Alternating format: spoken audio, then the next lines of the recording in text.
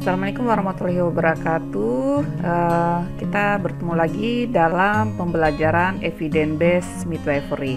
Evidence based midwifery sendiri ini adalah uh, merupakan satu mata kuliah uh, yang diberikan pada mahasiswa diploma 4 kebidanan ya. Ya, saya akan memberikan sedikit kontrak perkuliahan. Pada mata kuliah evidence based ini ada 14 minggu pertemuan yang terdiri dari tatap maya. Uh, tatap maya ini merupakan pembelajaran sinkron ya. Nanti kita bisa menggunakan Zoom, Clouds atau Webex atau sejenisnya. Kemudian ada pembelajaran uh, secara mandiri, kemudian itu berupa penugasan ataupun uh, Anda harus belajar tentang apa itu nanti ada clue yang kami berikan. Kemudian pembelajaran terstruktur baik diskusi ya e, berkelompok kemudian ada juga di dalamnya praktik. Untuk e, evidence practice sendiri ini ada beberapa e, materi yang akan Anda belajar uh, tentang konsep evidence base sendiri, kemudian prinsip, kemudian bagaimana evidence base dalam masa kehamilan, persalinan, nifas, bayi baru lahir dan balita, komplikasi kegawat daruratan, serta pelayanan kesehatan reproduksi dan KB. Oke, untuk materi pertama kita akan belajar tentang uh, konsep daripada evidence base ya. Evidence base sendiri itu kita akan melihat apa sih pengertian daripada evidence base, kemudian manfaat dan uh, pengkategorian evidence base berdasarkan WHO. Ya, Uh, secara kata, ya, secara penggalan kata, evidence base ini berarti berasal dari kata evidence, yaitu bukti atau fakta. Base berarti dasar, sehingga evidence base adalah praktek yang berdasarkan bukti. Evidence base ini merupakan harus uh, artinya bahwa uh, evidence base ini berdasarkan bukti. Tidak lagi bidan melakukan suatu tindakan berdasarkan pengalamannya bidan, berdasarkan kebiasaan yang sering dilakukan ya. Uh, tapi semuanya ini harus berdasarkan bukti. Bukti ini tidak sembarang bukti, bukan sekedar hanya bukti saja, tetapi bukti ini harus dapat uh, dipertanggungjawabkan. Seperti apa bukti yang bisa dipertanggungjawabkan? Intinya bahwa bukti ini harus uh, sudah melalui kajian ilmiah ya, kajian ilmiah yang baik uh, dan mendapatkan hasil yang baik.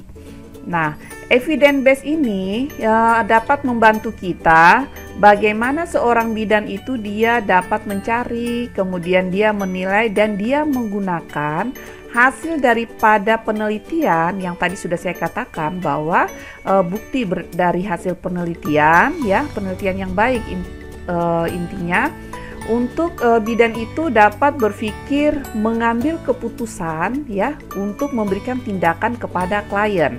Kemudian, evidence base ini juga dapat disimpulkan sebagai asuhan kebidanan yang berbasis bukti penelitian yang teruji menurut metodologi dan sistematik uh, menurut metodologi dan sistematika uh, penelitian yang baik. Artinya jumlah sampelnya baik kemudian metode yang digunakan juga baik ya. Kemudian uh, teknik analisis penelitian itu juga baik. Sehingga hasilnya yang akan diterapkan kepada uh, klien ini dapat aman, aman untuk klien, aman untuk kita sendiri ya. Oke, uh, evidence base ini juga ya menurut G. Uh, Gray tahun 97 dia mengatakan bahwa uh, evidence base ini uh, merupakan pemberian informasi kebidanan bagaimana bidan itu memberikan informasi berdasarkan bukti ya dari penelitian yang bisa dipertanggungjawabkan ya.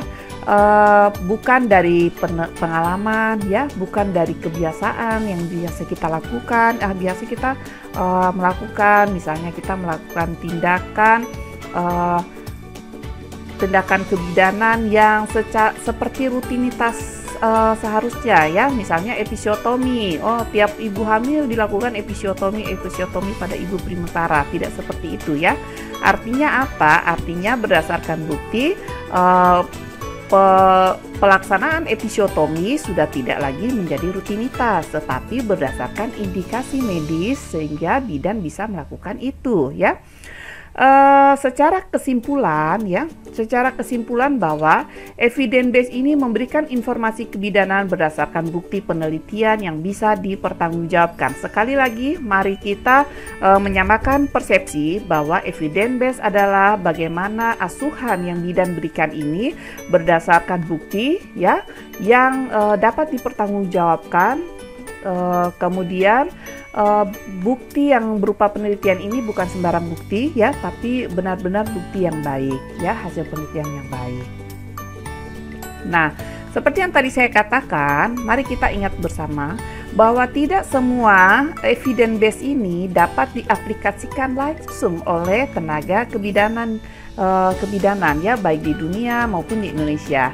Karena uh, bukti ilmiah tersebut harus ditelaah dulu. Walaupun sudah melalui suatu proses penelitian harus ditelaah dulu untuk dapat dipertimbangkan bagaimana sih manfaatnya kemudian bagaimana kerugiannya ya serta kondisi setempat misalnya budayanya ya bagaimana budaya di Indonesia ini apakah bisa menerima uh, hal itu atau tidak kemudian kebijakan apakah ada rekomendasi yang bisa mendasari itu ya SOP-nya harus jelas rekomendasi harus jelas ya uh, itu baru kita bisa terapkan. Jadi bukan karena sebuah penelitian uh, menunjukkan hal yang baik kemudian kita bidan langsung bisa menerapkan. Tidak, ya, tidak seperti itu.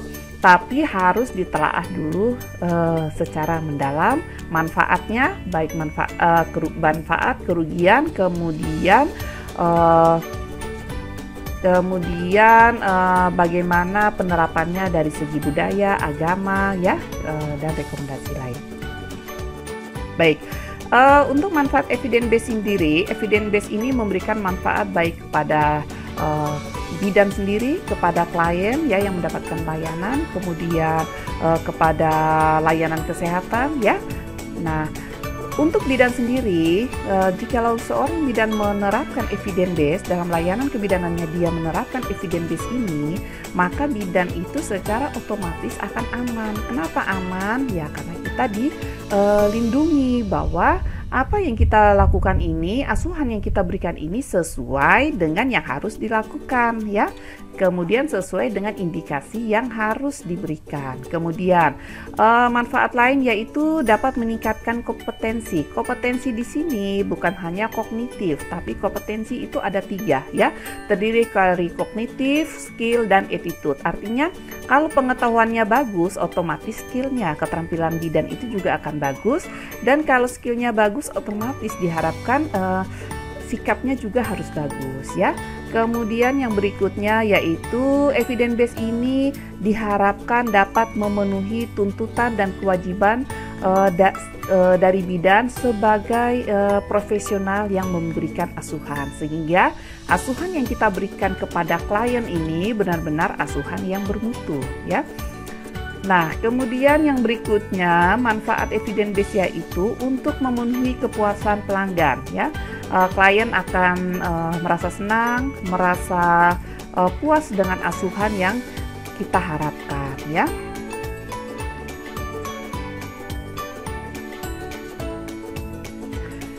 Pengkategorian evidence base ini ya, jadi WHO World Health Organization dia ada mengkategorikan uh, tentang evidence base ya. Kita akan lihat bersama bahwa pada tingkatan awal, tingkatan tertinggi yaitu evidence based medicine ya uh, di mana evidence based medicine ini merupakan pemberian informasi tentang obat-obatan ya, obat-obatan yang berbasis bukti. Uh, obat-obatan ini uh, yang bisa uh, berkaitan dengan obat-obat uh, baru ya yang bisa saja ditarik dari peredarannya ya atau bisa saja dipasarkan ya. Uh, ini adalah yang tertinggi itu adalah evidence based medicine. Di tingkatan kedua yaitu namanya evidence based policy yaitu uh, evidence based yang menyangkut tentang peningkatan mutu kesehatan ya tentang pelayanan kesehatan uh, baik di pemerintahan, di profesi ya ataupun di uh, tingkatan yang uh, mempunyai tanggung jawab terhadap sistem ya. Kemudian yang ketiga adalah evidence based uh, midwifery. Jadi evidence based midwifery ini berada pada uh, urutan ketiga yaitu pemberian informasi yang tadi sudah saya jelaskan berbasis bukti dan penelitian yang bisa dipertanggungjawabkan di dalam bidang kebidanan. Sedangkan evidence based report adalah bentuk penulisan laporan yang uh, baru berkembang untuk memperlihatkan bagaimana hasil penelitian yang dapat diterapkan pada semua uh, tatanan pelayanan pasien. Nah, evidence base ini kita dapat uh, mengakses evidence base ini ya, evidence base ini melalui publikasi, melalui publikasi jurnal-jurnal yang sudah ada ya. Banyak sekali situs yang bisa kita akses untuk kita mendapatkan informasi-informasi baru apa saja nih yang ada di kebidanan saat ini ya ada evidence based midwifery di Royal College Midwifery ya. Uh, ada HTTP-nya kemudian ada midwifery today ada international breastfeeding ya. Ini uh, tentang uh, menyusui kemudian ada comfort in labor ya.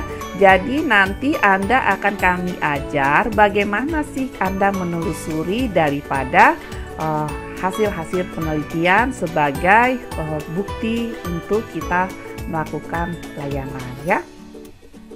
Ini adalah contoh e, evidence based midwifery dalam kebidanan yaitu Lotus Birth. Uh, apakah Anda sudah pernah mendengar ini? Ya, saya rasa Anda sudah uh, pernah mendengar tentang lotus bird ini di mana hasil penelitian menunjukkan bahwa bayi ini uh, yang tidak dipotong tali pusat ini akan memberikan ada memiliki manfaat yang banyak ya. Namun pertanyaan saya apakah lotus bird ini sudah dilaksanakan atau diterapkan di tempat kerja Anda sendiri? Ya, Pasti belum ya? Nah, makanya tadi saya katakan bahwa walaupun secara hasil penelitiannya baik, tetapi kan harus ditelaah dulu ya, e, ditelaah baik dari segi sistem budak e, sistem profesi, artinya dari segi rekomendasi dari dokter, kemudian dari organisasi profesi, dari pemerintah, ya mereka akan melihat dari segi agama, dari segi budaya dan sebagainya. Sehingga walaupun evidence base, uh, evidence base-nya buktinya menunjukkan bahwa Lotus Bird ini baik, tapi uh, belum bisa kita terapkan di layanan kita karena kita belum mendapatkan lisensi atau belum mendapatkan uh, rekomendasi untuk pelaksanaan ini ya. Nah, ini adalah salah satu artikel ya salah satu artikel penelitian yang diambil uh, dari jurnal internasional. Nah, berikutnya adalah waterbird. Uh, Anda pasti pernah mendengar juga apa itu waterbird? Ya, yaitu persalinan di dalam air. Persalinan di dalam air ini kan e, berdasarkan buktinya dia bagus ya. Artinya dia bisa e, mempercepat proses persalinan, kemudian dia mengurangi e, nyeri ya, menurunkan kecemasan dan sebagainya, ada ikatan bonding dan sebagainya. Namun, apakah water bleed ini bisa diterapkan di e, layanan kesehatan kita? Nah, tentunya belum ya. Karena apa? Karena memang harus ditelaah lagi. Karena ada jurnal penelitian yang menyebutkan bahwa water waterbead ini dapat menyebabkan terjadinya infeksi ya. Infeksi artinya penularan infeksi karena air yang tadi uh, bergabung di dalam uh, satu bak itu ya. Uh, sehingga dapat menyebabkan infeksi. Jadi dia artinya masih kontroversi dan belum menjadi satu rekomendasi di dalam pelayanan kebidanan ya. Kemudian ini ada beberapa tem temuan ilmiah ya. Uh, temuan ilmiah ini menunjukkan bahwa dengan breastfeeding ya, dengan uh, breastfeeding ini mampu uh, membuat menyebabkan perkembangan daripada neurodevelopment pada anak di usia 14 bulan ya. Kemudian ada lagi temuan ilmiah yang menyatakan bahwa perawatan tali pusat terbuka ya lebih cepat puput dan mengurangi kejadian infeksi dibandingkan dengan uh, perawatan tali pusat tertutup. Nah, kalau temuan ilmiah yang ini ini kan sudah direkomendasikan sudah melalui suatu telaah, sudah mulai suatu telaah ilmiah secara mendalam sehingga mereka melihat bahwa manfaatnya lebih besar daripada kerugiannya sehingga temuan ilmiah ini sudah direkomendasikan oleh bidan. Makanya saat ini kita kan perawatan tali pusat sudah bukan lagi perawatan tali pusat yang dibungkus dengan uh, kasa, dikasih alkohol dan sebagainya ya, tapi sudah melakukan perawatan uh, perawatan tali pusat uh, terbuka ya. Uh, dan juga saat ini kan kita melakukan perawatan tali pusat kering ya, artinya sudah tidak menggunakan alkohol dan sebagainya. Kenapa tidak menggunakan alkohol ya? Karena alkohol yang 70% itu 70%-nya adalah alkohol, 30-nya adalah air ya. Kalau al, al sifat daripada alkohol ini adalah dia cepat uh, menguap. Jika alkohol ini menguap, 70%-nya dia menguap, tinggal 30%-nya air ya, berarti kan 30%-nya air nih. Nah, air ini akan membuat tali pusat itu menjadi lembab. Uh, bakteri itu dia senang berkembang di tempat yang lembab ya. Untuk itu lebih aman dengan tali pusat yang kering. Kemudian berikutnya yaitu uh, Temuan ilmiah ini menyebutkan bahwa ternyata kematian terbaik terbanyak pada anak adalah disebabkan karena pneumonia dan diare. Sedangkan e, penyebab lain dari e, kematian ini adalah kekurangan gizi. Salah satu upaya untuk mencegah kematian pada anak adalah dengan pemberian ASI e, nutrisi yang baik dan ASI eksklusif. Artinya bahwa dari penelitian ini sudah jelas menunjukkan ya menunjukkan bahwa bayi itu harus diberikan ASI ya karena dengan ASI bayi e, akan e, ter tercegah atau akan mencegah bayi untuk terkena pneumonia, terkena diare, terkena kekurangan gizi ya. Ini kan uh, merupakan rekomendasi yang sudah uh, yang sudah di sudah dijalankan ya. Artinya saat ini kita sudah gencar terus untuk memberikan uh, penyuluhan tentang uh, ASI ya.